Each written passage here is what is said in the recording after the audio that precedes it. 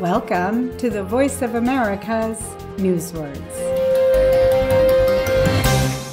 Union Pacific Railroad cars in Los Angeles, California are a target of robbers. Litter.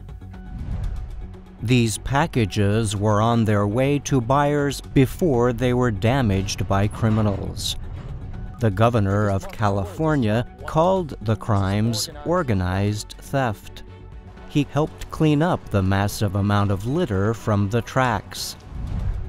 Litter is pieces of trash or waste left outdoors by humans. It is one kind of pollution. But litter can also mean something lovely. A litter of kittens, for example, are the newborn cats produced from a single pregnancy.